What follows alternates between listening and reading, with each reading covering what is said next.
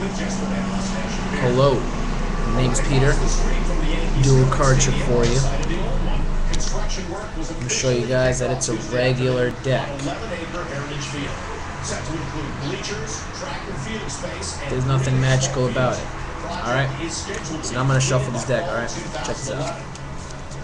It's just one piece of a larger redevelopment of Now, um, it's a cool levitation trick. Alright, check this out.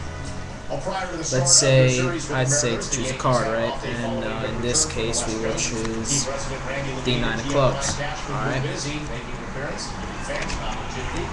So take the nine of clubs, put it back in the deck.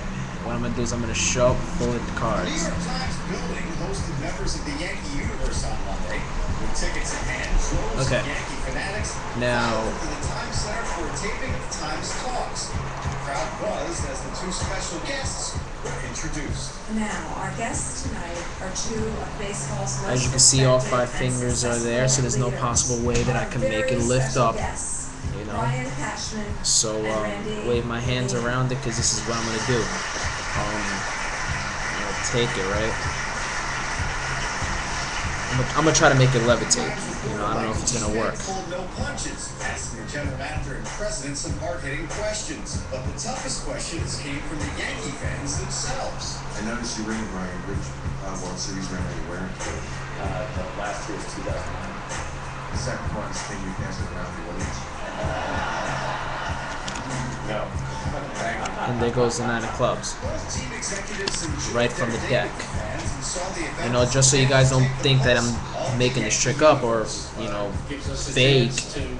Um, I'm gonna gonna choose a different card. In this case, let's choose the King of Hearts. Okay. All right, I'm gonna shuffle the deck real quick. It's, it's nice to kick back let's say you know I tell you to stop and we stop it right here. Okay. Now. Do it one more time.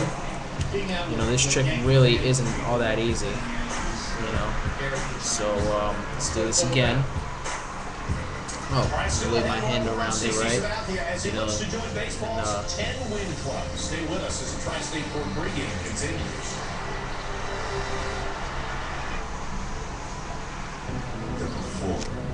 The before. The expectation. there's the King of Clubs. The Levites. And cars. Thank you for watching.